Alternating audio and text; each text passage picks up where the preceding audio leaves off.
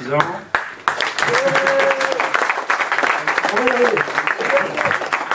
Euh, je suis coach agile à la retraite, développeur, et je travaille euh, pour une filiale parisienne de Amadeus en tant qu'architecte.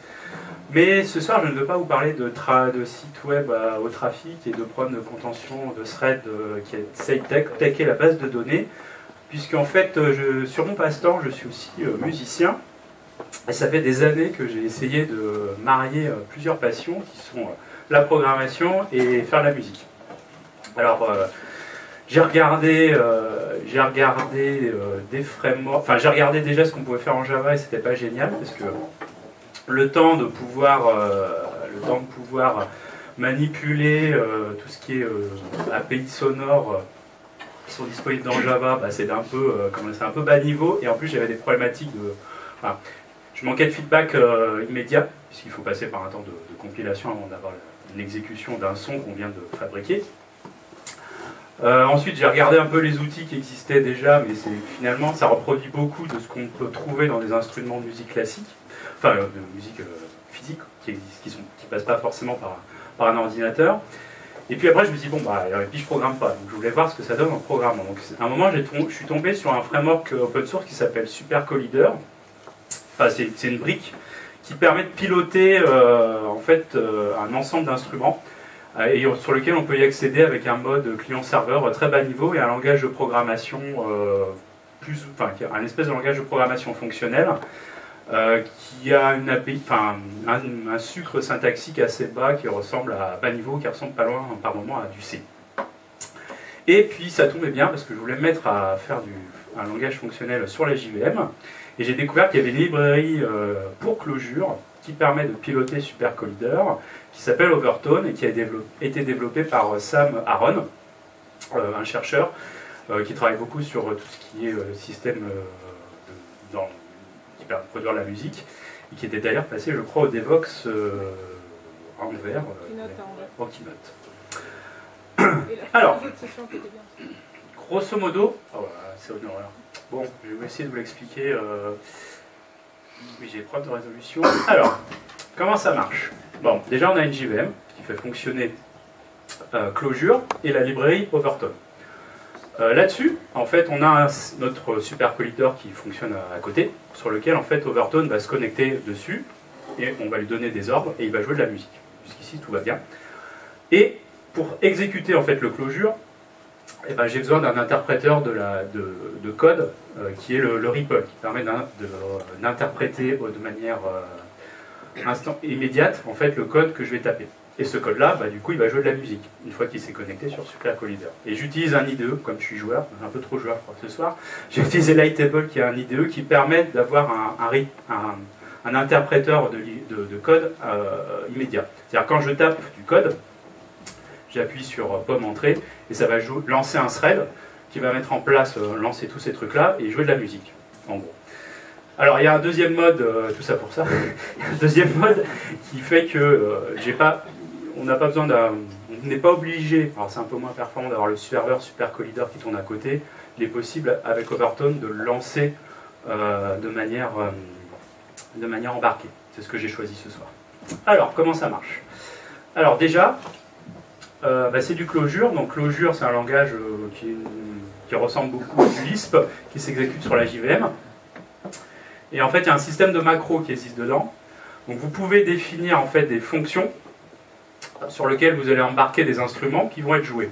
Alors ils ont, vous pouvez passer par la syntaxe closure classique. Ils ont simplifié un petit peu l'utilisation avec une macro, une première qui s'appelle definst pour instrument. Donc j'en ai plein qui s'appelle bar. Je vais lui passer en paramètre. Parce qu'en fait j'ai envie de jouer un synthétiseur, donc je vais lui passer une fréquence. Et la fréquence qui va être jouée, ça va être la, plus ou moins la forme d'onde de la fréquence du synthétiseur que je vais essayer de jouer je vais dire 220. Et puis je vais lui passer une forme qui est plus ou moins sinusoïdale, qui va prendre la fréquence que j'ai jouée. Donc là, j'ai lancé, euh, j'ai fait pomme entrée, ça a lancé le ripple, ça m'a compilé ma fonction. Donc on y va. Après, si je le joue, jouer avec la fréquence de base.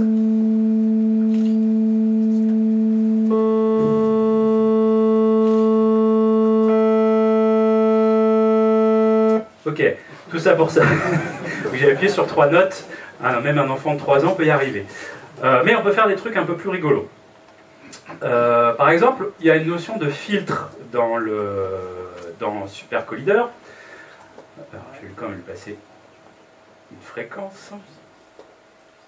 De filtre passe bas, par exemple. Alors, je sais que ça vous rappelle tous vos cours de physique.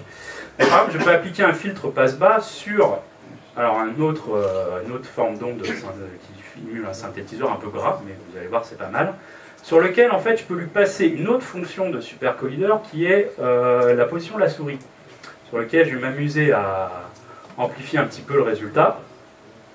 Et, voilà, et je vais lui passer aussi la position de la souris en Y, tant qu'à faire, avec quelques options dont je vous passe le détail. Je vous envoie la doc de euh, Super de Overtone. Et si je lance, peux m'amuser à tourner, là vous ne voyez pas, mais je tourne la souris et ça peut moduler, voilà, on module le signal qui est joué. déjà c'est pas mal. Ok, on peut faire encore d'autres trucs. Euh, on peut faire des synthétiseurs. Alors il y a une autre macro qui existe, qui s'appelle defsynth pour synthétiseur, sur lequel en fait vous pouvez...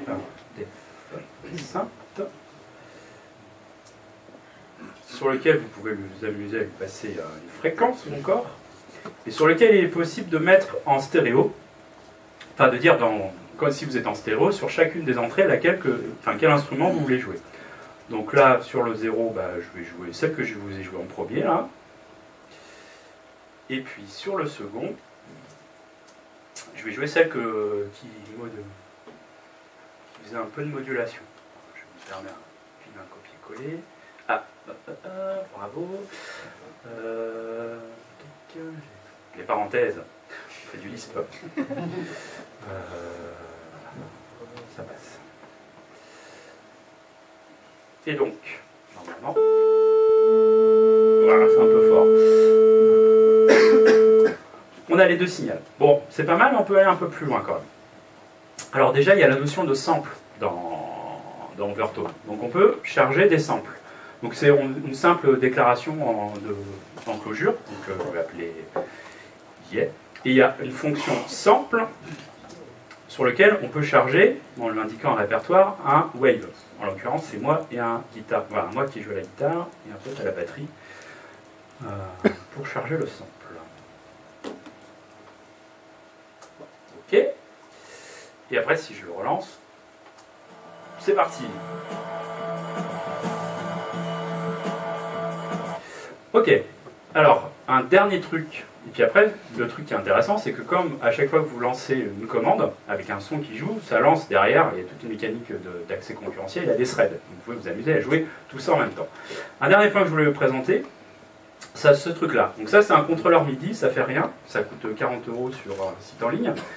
Et en fait, normalement, il faut utiliser euh, des logiciels pour envoyer un son dessus. Et puis quand vous appuyez sur le pad, là, ça doit jouer du son. Le truc qui est pas mal avec euh, Super Collider, c'est qu'on... Euh, pardon. Avec Super Collider, Overtone et Clojure, on peut coller des événements dessus.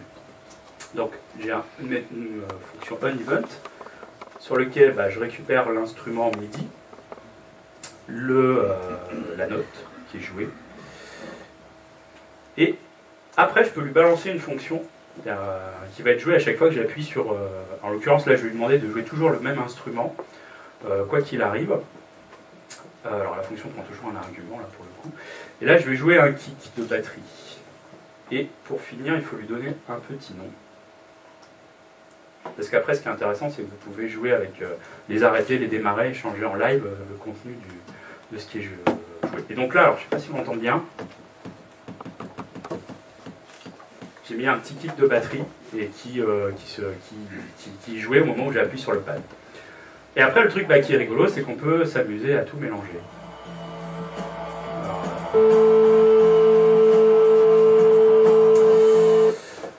C'est encore un peu brut de décoffrage, je le reconnais. Donc du coup, euh, je euh, me suis amusé à prendre le temps de regarder un peu ce qui se passe. Voilà. Alors merde, je vais t'embêter. Euh, parce que il faut, je sais pas pourquoi, je vois pas tout. Bon, c'est pas grave. On va essayer de faire comme on peut. Euh, alors, il y a une notion euh, qui est intéressante dans Overtone, euh, c'est que en fait, il peut charger euh, des samples. Et en fait, il a, dans la fonction de sample, on peut lui passer une autre fonction qui s'appelle FreeSoundPass, sur lequel en fait, il va aller chercher sur le site freesound, euh, freesound.org euh, des waves qui sont, euh, bah, qui sont libres de droit, sur lequel vous donnez l'ID il la première fois, bah, comme quand vous faites du Maven, en fait, il va télécharger euh, ces waves, les storer sur un cache en local. Et après, quand vous les rappelez, vous pouvez les jouer. Donc moi, c'est ce que... là, ils sont tous chargés. Ils sont tous là, normalement. Après, il y a un deuxième truc qu'on peut faire, c'est il y a une fonction qui s'appelle de métronome, sur lequel vous pouvez lui envoyer la, pulse, enfin, la, la rythmique à laquelle va être joué tout un ensemble de métronomes. Ces métronomes-là vont nous servir notamment à la fonction suivante, qui s'appelle looper, qui prend en paramètre un métronome, enfin un- une rythmique, un son et qui va jouer de manière récursive sur la rythmique qu'on lui a passée, le son. Et donc du coup, on obtient une espèce de boîte à rythme. Bon après, je vous passe un peu les détails. Euh, J'ai quelques notes qui vont être utilisées ou des instruments. Euh, on peut s'amuser. euh. Vous pouvez ressortir vos cours de physique, puisqu'en fait, beaucoup de, beaucoup de ce qu'on paramètre dedans, euh, c'est des formes d'ondes. Alors j'ai remis, je ne sais pas si c'est une bonne idée, le synthétiseur qui crachouille un peu, et j'ai collé un autre événement, mais un peu plus rigolo cette fois-ci, sur le synthétiseur, enfin sur le contrôleur MIDI, qui est un son de synthétiseur, un prophète normalement, c'est censé simuler des choses, un, un son un peu grave. Vous étonnez pas si ça ressemble un peu à la bande de son d'un film de John Carpenter par moment. Bon alors c'est parti.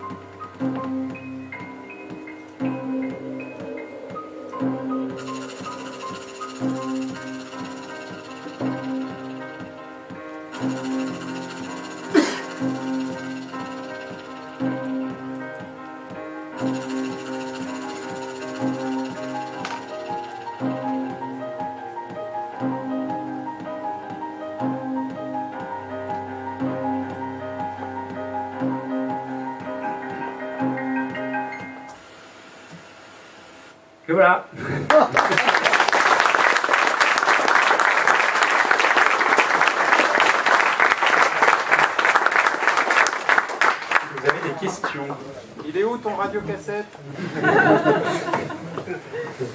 Bon, il y a moyen sûrement de faire des trucs un peu moins, on va dire, raides musicalement, mais je vous invite à aller euh, creuser.